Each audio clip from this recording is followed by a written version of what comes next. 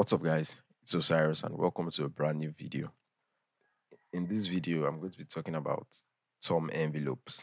So we're just going to take a look at this mix and see why it's necessary to set envelopes on your toms.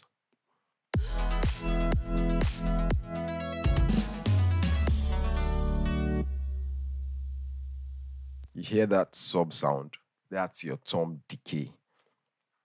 And if you don't shape your tom well, the decay of your tom just clashes with the rest of your sound. And we can't just like use an EQ to roll off the lows on your tom because the low end gives the tom so much character and all you have to do is shape your tom with an envelope. This is without the envelope. And this is with the envelope. So you hear the difference.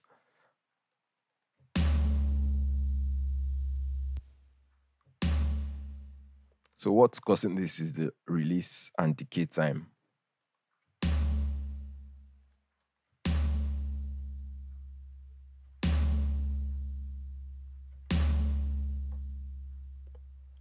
you have to bring down the release and decay time to really cut off that tail on your tom.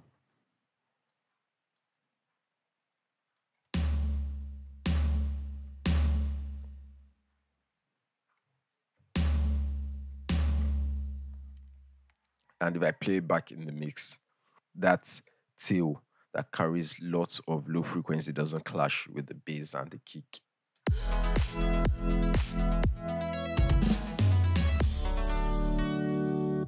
without the envelope.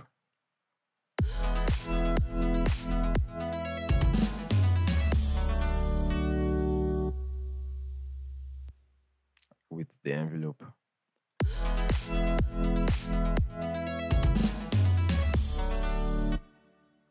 So your mix sounds clean if you use an envelope on your tom.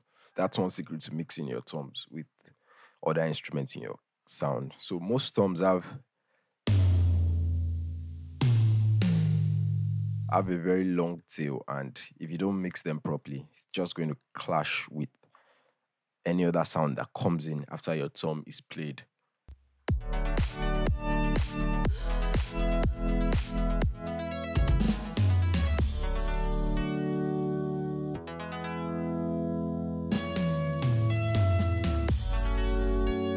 So that's another example to show if the decay, if the envelope was off here, you see how it clashes so much with the next element that plays after the tom is played.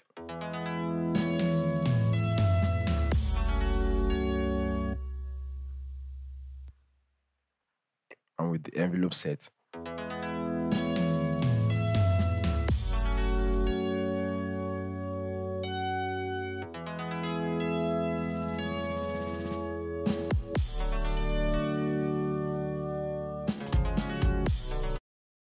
So that will be all for today, guys.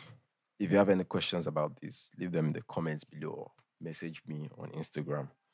All my social links are down in the description box below. And yeah, if you enjoyed this video you learned something from this video, don't forget to like and share the video and subscribe. Thank you for tuning in. And until next time, guys, peace.